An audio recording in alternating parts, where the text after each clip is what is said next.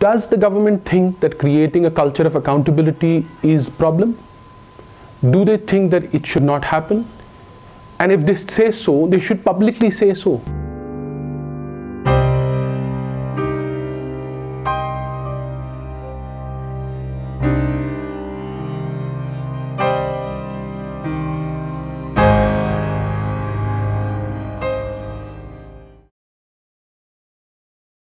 What was I doing or my organization doing in last uh, four and five months?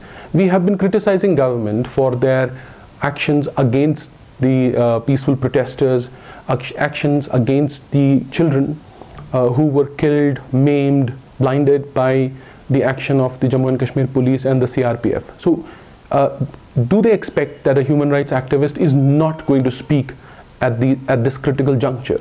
Should we keep quiet? I decided not to keep quiet. And I think many Kashmiris wanted not to keep quiet. And we raised our voices. And that is the price which I had to pay. I was conscious of the consequences of speaking truth. And what I suffered uh, two and a half months uh, was uh, something which I did not uh, think that it's unexpected. Uh, there are many friends who I had told already that I suspect that government would take action against me. And even in the past, they did. My other colleagues have been arrested in the past, uh, killed in the past. Multiple Kashmiri uh, journalists, writers have been uh, humiliated, tortured, threatened. So this is part of that collective struggle where all of us are trying to make Kashmir a better Kashmir, a free Kashmir. And government is trying to annihilate all these voices. The government anywhere in the world, uh, they are not happy with the work of activists. They don't want activists to ex exist. They feel that the existence of uh, activist groups, human rights groups, is a threat to their existence. Uh, it's unfortunate because the work which we are doing will only help all the stakeholders in Jammu and Kashmir because we are trying to create a sense of accountability, a culture of accountability in Jammu and Kashmir. Like for example, we have been going to the courts, filing cases.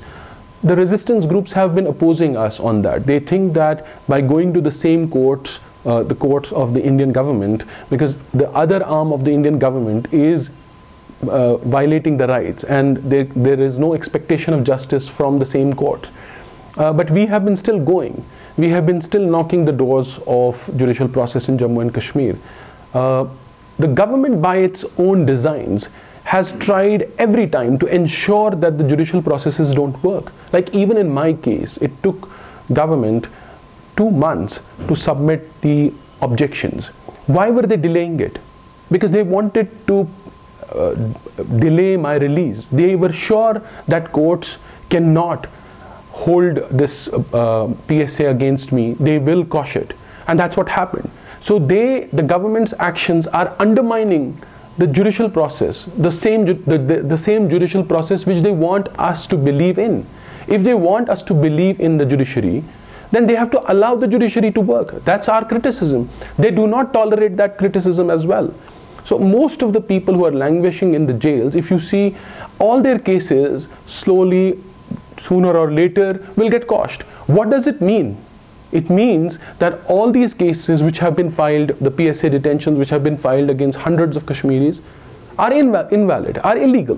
Why is state entering into an illegal process? By investing into an illegal phenomenon, do they think that the Kash confidence of the Kashmiri society is going to increase on the Indian system, on the Indian governance, on the uh, Jammu and Kashmir government? No, it's not going to happen. People are going to have more questions, more serious questions, because the conduct of the Indian state has ensured that the, the belief of the Kashmiri people that India is not sincere, that Jammu and Kashmir government is not sincere, is getting cemented.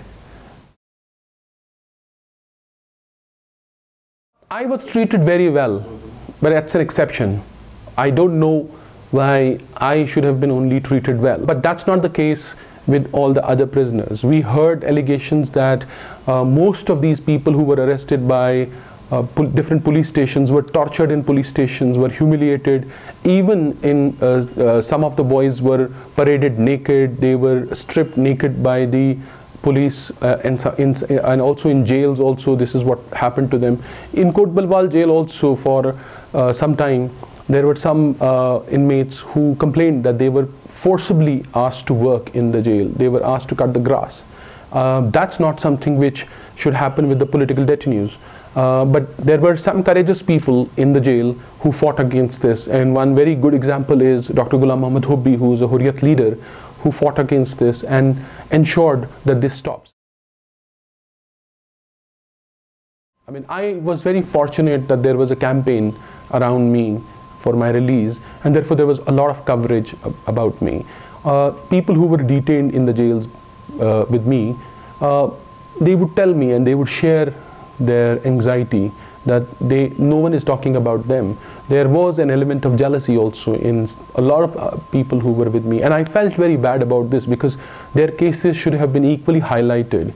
Uh, we must find ways of speaking about all these people who've been detained in jails. We must try and document the lives and the struggle of all these people who have been jailed uh, we will try to do that uh, but that's a complaint which they had. The other complaint which uh, a lot of uh, prisoners had was that in the jails they were hoping that bar association would be exempted uh, from uh, in the strike for, for appearing in the cases of these detainees. But that didn't happen. Most of the family members had to appear on their own in the courts to get their family members um, PSA detention cost uh, it is unfortunate and I think all these people who are in jails they deserve a lot of support from the society. Lawyers have a huge responsibility towards them. Uh, in last 27 years lawyers have played a very commendable role.